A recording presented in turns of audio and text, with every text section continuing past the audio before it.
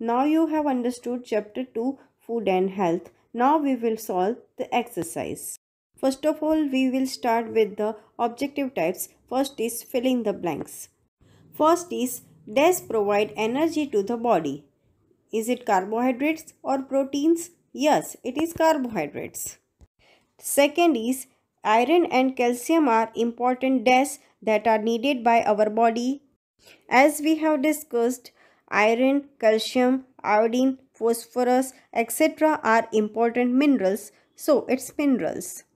Third is dash is the undigested part of food we eat. Is it protein or roughage? Definitely roughage. Fourth is dash is the state of complete physical and mental well-being. Is it disease or health? It is health. Fifth is dash is a communicable disease. Is it obesity or pneumonia? It is pneumonia as it can spread from one person to another and obesity does not spread from one person to another. Now we will see true or false. First is bananas are a good source of carbohydrates. Is it true or false? Yes, it is true. Fruits like banana and mangoes are very good source of carbohydrates. Second is water is not a part of balanced diet. It's false. Along with five components of the food, water and roughage are also included in balanced diet. Third is proper diet, rest, exercise and good posture are necessary for a healthy body. It's correct. As we discussed, these all are very necessary for healthy body. Fourth is communicable diseases are caused due to deficiency of nutrient in the body. No, it's false. They are caused by germs. Fifth is goiter is caused by the deficiency of iron. It's false. Goiter is caused by deficiency of iodine. Now we will start MCQs. First is which of these do you need to eat for muscle building? The answer is eggs and meat. They gives us protein and essential for growth and muscle building. Second is which of these are needed in small amounts for normal functioning of the body? The answer is vitamins and minerals. Third is which of these is a good source of roughage? The answer is vegetables. As we know, raw vegetables are very good source of roughage. Fourth is which of these are essential to stay healthy? The answer is all of this because balanced diet and rest, good posture and exercise these all are very necessary to stay healthy. Fifth one is which of these are common ways in which disease causing germs spread? As you know, germs spread through dirty food and water, through insect or through direct contact. So, the answer is all of this. Sixth one is which of these diseases spread through direct contact? The answer is measles and tuberculosis. In all other options, allergies, cancer, beriberi, scurvy, goiter, anemia, these all are non-communicable diseases that are not spread from one person to another. Seventh is which of these is caused due to deficiency of vitamin A that is night blindness. Beriberi is caused due to lack of vitamin B1, scurvy is caused due to lack of vitamin C and rickets is caused due to lack of vitamin D. The last is which of these is caused due to deficiency of iron that is anemia. Measles, tuberculosis and pneumonia are communicable diseases. Our next exercise is match the following. One is vitamin D. The rickets is caused by lack of vitamin D. Second is vitamin B. Beriberi is caused by lack of vitamin B. Next is vitamin C. Scurvy is caused by lack of vitamin C. Fourth is fat-rich diet. Obesity occurs due to fat-rich diet. Last is mosquitoes. Mosquitoes spread disease like malaria. Now give two examples. First one is sources of proteins that are cheese, pulses, soya bean, milk, eggs, etc. Second one is sources of carbohydrates that are wheat, rice, potato, sugar, bananas, mangoes, etc. Next is sources of vitamins and minerals that are fruits and vegetables, fish, egg, milk, etc. Next is sources of fats that are oil, butter, cheese, ghee, dry fruits, etc.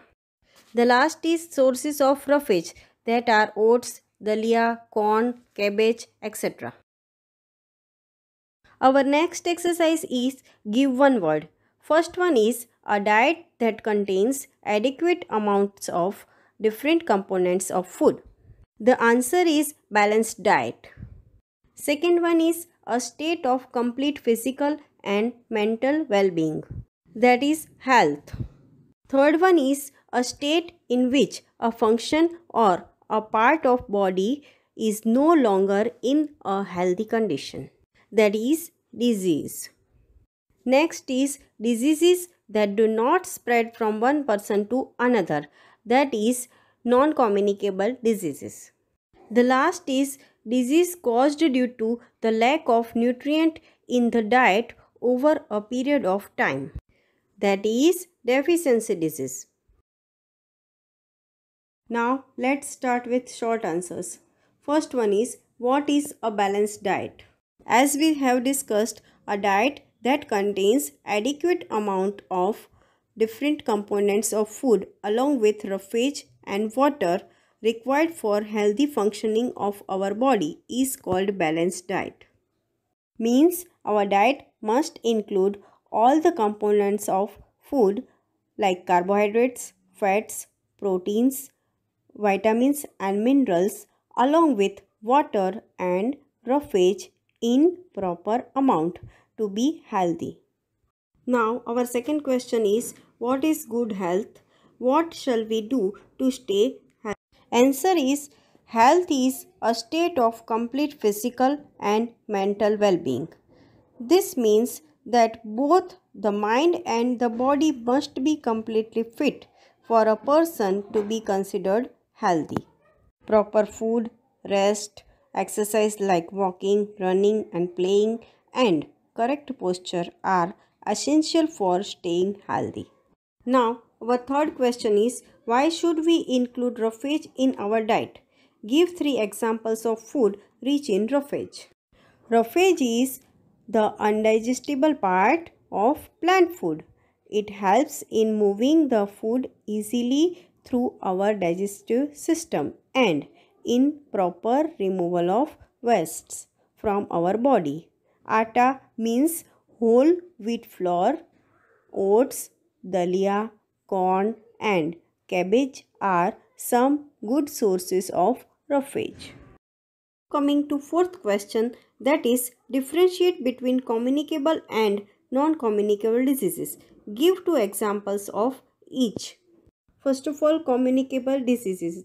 Diseases that spread from one person to another are called communicable diseases, while non communicable diseases do not spread from one person to another. Communicable diseases are generally caused by germs, while non communicable diseases are caused by the deficiency of particular food component. Example of communicable diseases are common cold, pneumonia, etc while example of non-communicable diseases are beriberi, goiter, etc. Our next question is what are deficiency diseases? Give 5 examples of deficiency diseases and the nutrients that are linked to. Diseases that are caused because of the deficiency of particular food component are called deficiency diseases. Deficiency means किसी चीज़ की कमी होना first is scurvy It is caused by deficiency of vitamin C. The food rich in vitamin C are amla, orange, etc. Second is goiter. It is caused by deficiency of iodine. Food contain iodine are iodized salt, cranberries, etc. Next is anemia. It is caused by deficiency of iron. The food rich in iron are spinach, apple, etc. Now, beriberi. It is caused due to deficiency of vitamin B1. The food rich in vitamin B1 are milk, peas, etc. The last is night blindness. It is caused by deficiency of vitamin A. The food rich in vitamin A are green leafy vegetables, papaya, carrot, mango, etc. Our last question is what are vaccines? How do they help us? Vaccines are special substances that are used to prevent specific diseases. Most vaccines are given to children. Vaccination is the use of vaccines to prevent specific diseases and help to build up resistance in the body. They develop our immune system so that our body can fight against diseases by itself. Write all the objective type of exercise like filling the blanks, MCQs, very short answers in the textbook itself and question answers in the fair book. Thank you.